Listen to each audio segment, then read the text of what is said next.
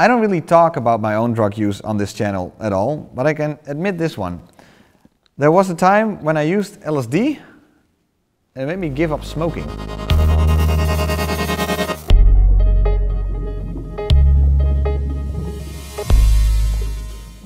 I was a long time smoker. Didn't smoke much, smoked a little, like maybe a cigarette or two a day, sometimes a little bit more, sometimes even a little bit less.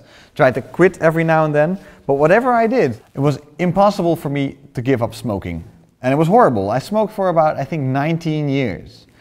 Um, and then at a certain point, me and my buddy uh, dropped some acid. And uh, was wonderful. We biked all day and uh, we enjoyed nature. Ah! I'm gonna hit someone in the face because it's so beautiful.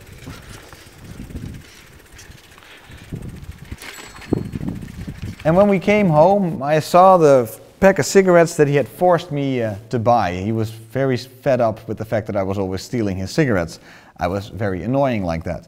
And I went over this list of three things that were so obvious, but never really clicked in my mind until that time. First of all, smoking is not really experiencing the drug, right? It's not like you say, hey, let's go out and let's use some nicotine. Nobody ever says that. The wonderful feeling you get after having a cigarette basically is giving in to the addiction you already have. Everybody's first cigarette sucked. Second of all, I realized that I often smoke simply because out of boredom. I'm in a club and somebody asks me like, hey, you want to go out for a smoke? And I say, oh yeah, sure. But if they had invited me for shots of apple juice, or I don't know, a carrot, I would probably have loved it just as much. And those two things basically brought me to my third point. There's only one short moment in which I'm alive. And I would like to really enjoy this life as much as possible because I think it's awesome. And do I really then want to waste it on a product that gives me so little joy? So I went over these things in my head while tripping on acid and while having that pack in my hand and for some reason just something just snapped in my head and it really felt that way.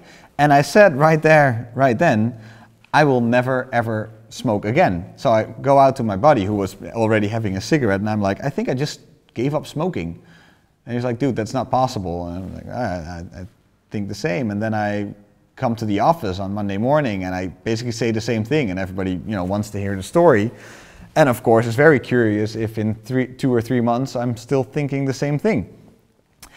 And yes, I never touched the cigarette again. Well, maybe once. I wanted to try it out about half a year later, and I, you know, the whole cliche thing. I hated it. I thought it was disgusting. Couldn't imagine why I would ever have smoked at all in my entire life. Um, and it was so weird, so I, uh, I decided to write an article about it, and I called up a bunch of people to, to figure out what happened to me. And it turns out that psychedelics are being used more and more in uh, studies to see how potent their effects are. They're being used against depression, um, PTSD, uh, and even giving up addiction, like happened in my, uh, in my case. And it's not for everyone, I think. Don't go out and now use LSD and think you will cure whatever ailment you have. It doesn't work that way. I kind of like to go into my own brain and I kind of think, like to self-analyze and I think I am responsible enough to do it. Luckily, scientists are, as we speak, working uh, on these substances to see maybe if they do have some more potential than we previously th thought, because it's not only just nice to look at curly curtains or a very big tree, this drug actually helped me kick another drug. Ja toch?